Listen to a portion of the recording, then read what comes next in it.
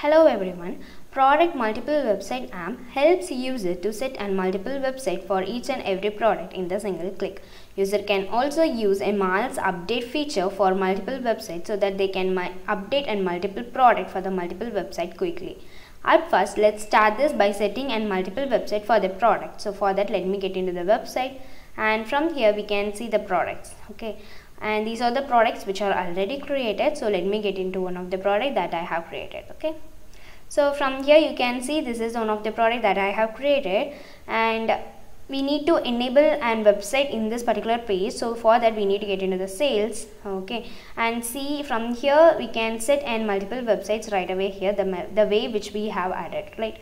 If we need to add a new website you can just click on that and you can add. If you need to remove you can just remove it anytime and you can add it anytime you need okay. And we have from here I'm going to choose for this particular product I have choose a two website. Okay. And once this is done let me save this one and get back to the website page. Now we are in the website page. So from here let me refresh this page. And we are in the website 2 let me get into the website 1 okay let me get into the shop now and from here you can see an office chair black is available in the website okay? Like the same way if I get into that uh, website and see and website 2 you can see the same product is available in that particular website 2 as well okay? And also we can see the same right away here that we have enabled these two website on the same product.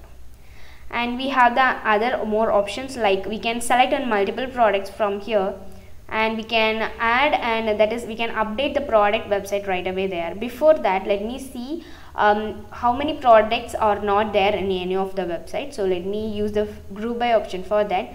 So from here let me choose an website. Okay.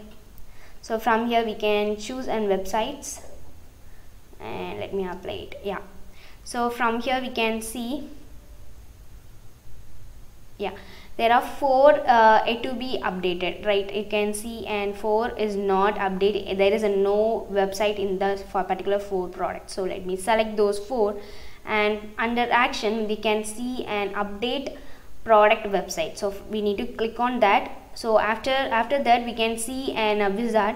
So user can select a multiple website and click on the update button. So let me add an uh, two website and let me update it.